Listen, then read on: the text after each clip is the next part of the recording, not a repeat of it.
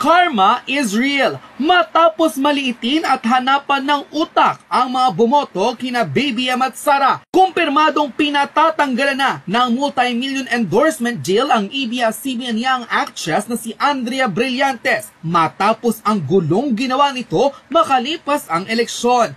Tila kinarma ng araw ang isa sa mga kilalang kritiko ni na Bongbong Marcos at Sara Duterte dahil hindi pa man nakakalipas ang 48 oras ay nakita na kagad ni Andrea ang resulta ng panglalait nito sa mahigit sa 31 million Filipino. Goodbye multi-million endorsement deal, goodbye Andrea Brillantes. Narito ang full report.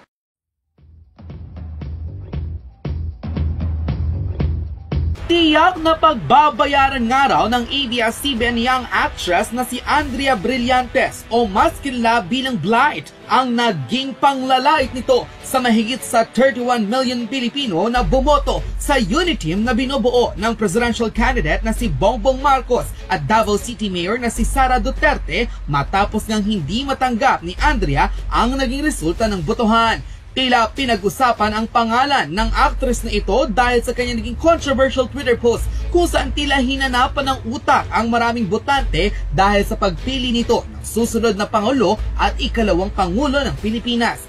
Tila matapos lamang ang mahigit sa 48 oras ay hindi inaasahan ni Andrea ang balik sa kanya ng karma Pinatatanggalan na ng multi-million endorsement deal ang ABS-CBN young actress dahil sa kanyang kabastusan at panlalait sa botanteng Pilipino. Ang tinutukoy ng ilang mga netizens na produkto na tila ine-endorse ng ABS-CBN young actress ay ang Brilliant Skin na pagmamayari ng young CEO na si Glenda de la Cruz kung saan nanawagan ang maraming Pilipino na ngayon pa lamang pati ang billboard ni Andrea ay tanggalin na sa EDSA. Ayon sa komento ng ilang netizens, mukhang matigas ang ulo ng batang iyan simula na matikman ng mantika na muuna ata sa utak niya. Sigurado naman na pinagsasabihan siya ng mga nakapaligid sa kanya, pati parents niya, sadyang mayabang na at matigas ang ulo.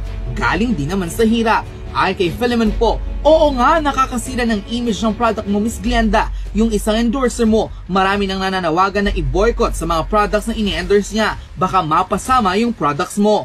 Ayon kay Rats Dats, sana mapansin ni Miss Glenda ang panawagan ng mga client niya. Nakakasira ang image ng isang endorser niya. Nakakaganda ang brilliant, hindi nakakapangit lalo na ng pag-uugali. Ayon kay Reggie Ann Resano Mandique, magwe-well ka na ba for the new phase of Brilliant? Ayon kay Christina Nagak, Boycott na! Palitan na yung bastos na bata! Every time makakakita tayo ng mukha niya na ini-endorse, maaalala lang natin ang pinagsasabi niya. Ayon kay Hel Juan Bansil, yes to brilliant pero deserve natin ng bagong mukha, bagong endorser.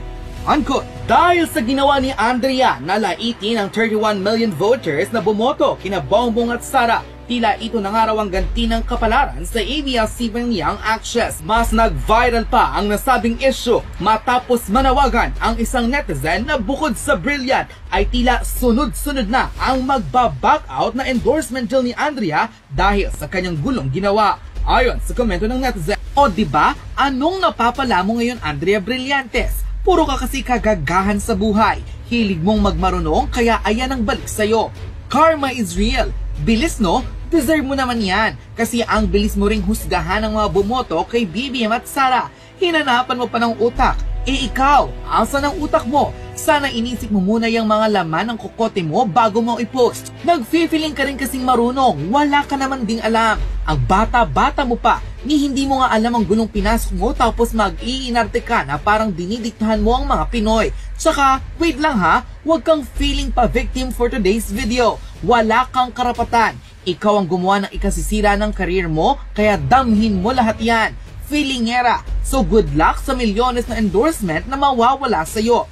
Di ba? Pinoprotesta ka na ngayon na tanggalan ng million peso deal brand endorsement dahil yan sa paghahanap mo ng utak ng 31 million voters ng Unity. Ayan, ipinakita nila sa'yo ang may utak sila. Nagawa lang naman nilang patanggalan ka ng advertisement and future brand deal project. So good luck sa career at sa buhay mo bilang artista. For sure, sa lawak ng galit at insayo ng tao, wala nang kukuha sa'yo. Karma, PS, Blight, ikaw yung walang utak. Explain mo nga kung bakit mo tinikman yung mantikang pinagprituhan ng hotdog?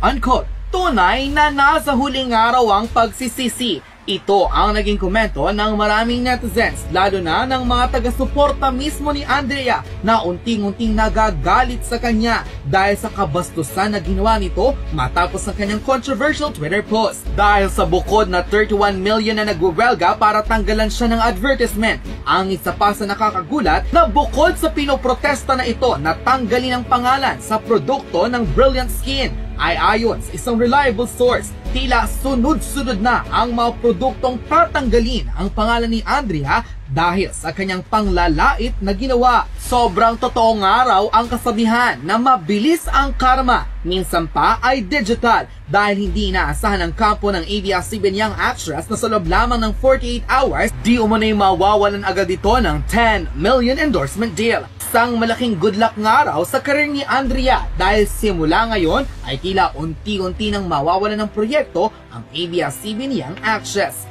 Ano ang iyong magiging reaksyon na nang dahil lamang sa controversial Twitter post ni Andrea ay bino-boycott na siya ng maraming netizens? Just comment below.